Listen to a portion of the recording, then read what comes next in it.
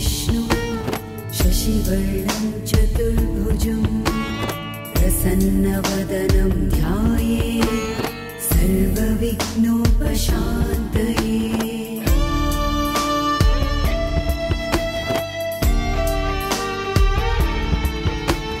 शान्ताकारं भुजगशय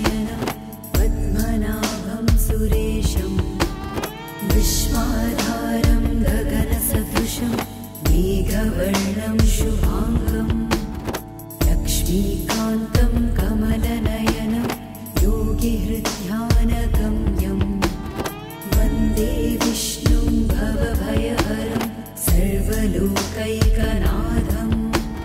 मेघश्यामं पीतकौशेयवासम्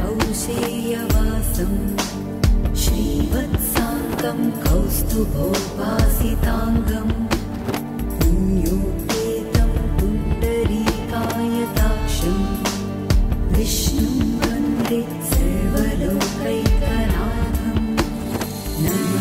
समस्तभूतानाम् आदिभूताय भूभृते अनेकरूपरूपाय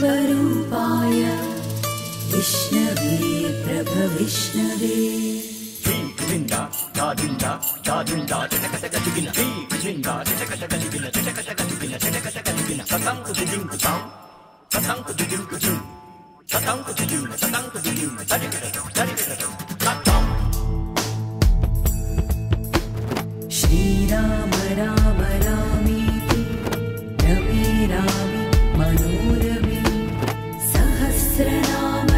तुल्य राम राम परानने कालीन वाचा मनस्।